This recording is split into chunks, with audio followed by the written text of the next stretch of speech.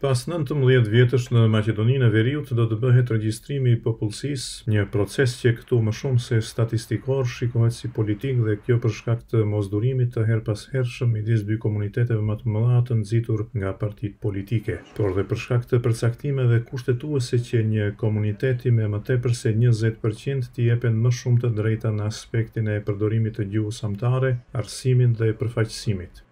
Sot regjistrimi ka filluar online vetëm për diasporën, përfaqësitë diplomatike dhe konsullore jashta dhe disa kategori brenda vendit si të burgosurit e të pastrehët.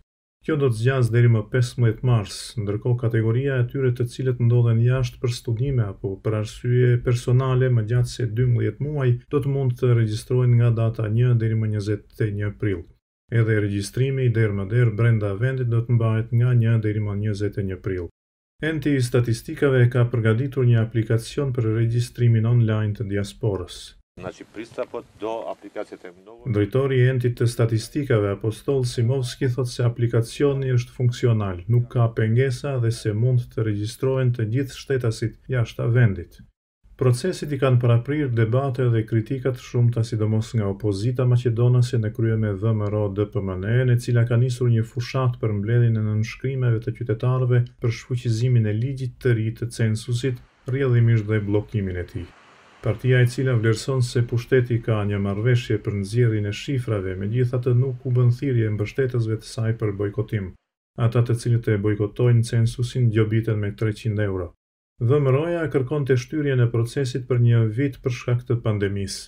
Ndërkaq opozita shqiptare, përkatësisht Aleanca për Shqiptarët dhe Alternativa, bëjnë vërejtje lidhur me statusin si banor jo-rezident për të gjithë mërgimtarët të cilët mund të mos jenë kthyer në vendlindje brenda dymbëdhjetë muajve, por ata dërgojnë remitanca dhe paguajnë taksa në Maqedoninë e Veriut. Autoritetet thonë se ligji dhe procesi janë sipas udhëzimeve të agjencisë Eurostat të Bashkimit Evropian. Sipas regjistrimit të vitit dy mijë e dy, shqiptarët përbëjnë njëzet e pesë pikë gjashtëmbëdhjetë për qind të popullsisë, maqedonasit rreth gjashtëdhjetë e katër dhe komunitetet tjera përbënin përqindjen e mbetur. Enti Shtetëror i Statistikave jep të dhëna për rënien e natalitetit në vend, ndërsa vitin e fundit sigurisht për shkak të pandemisë së koronavirusit është shtuar vdekshmëria, Vetëm në dhjetëvjeçarin e fundit, sipas vlerësimeve të Bankës Botërore, nga Maqedonia e Veriut janë larguar mbi katërqind mijë shtetas në kërkim të një jete më të mirë në Evropën Perëndimore. Sipas pritjeve të ekspertëve, numri i banorëve rezidentë nuk do të kalojë një milion e gjashtëqind mijë. Për Zërin e Amerikës, nga Shkupi, Isak Ramadani.